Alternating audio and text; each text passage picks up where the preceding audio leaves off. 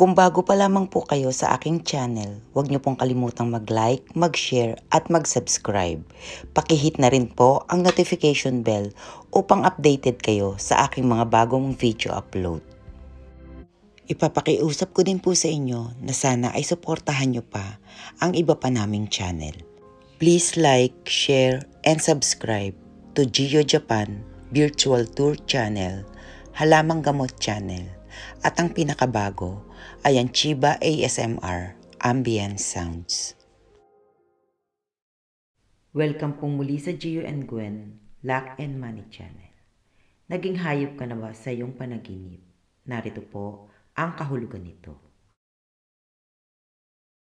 Halos lahat ng tao ay mayroong paboritong hayop. Karaniwan ay inaalagaan natin sila at itinuturing na parang isang kaibigan o kapamilya. Dalawa sa mga sikat na hayop na ginagawa nating pet sa bahay ay ang aso at ang pusa. Marami rin na nag-aalaga ng rabbit, isda, daga at iba pa. Sa zoo, nakikita ang mga wild animals maliban sa kagubatan na tunay nilang tirahan. Kung marami ang natutuwa sa mga hayop, mayroon din namang hindi natutuwa sa kanila, lalo na kung may allergies sila dito.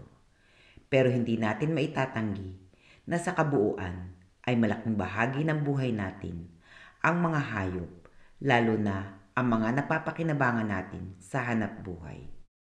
Gaya ng kalabaw, kabayo, baboy, baka at manok. Kung isa ka sa mga taong magiliw sa mga hayop, ano kaya ang magiging pakiramdam mo kapag naranasan mo na ikaw ay maging tulad nila sa iyong panaginip?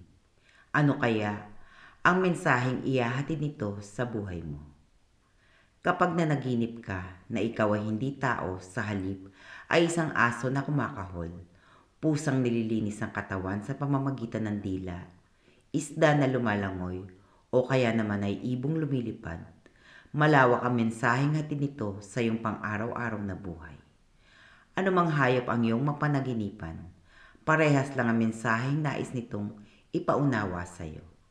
Ikaw ay maraming hindi naiintindihan sa iyong kasalukuyang buhay. Ibig sabihin ay kailangan mo munang pagdaanan ang eksaktong pinagdaraanan ng iyong kapwa bago mo siya maintindihan.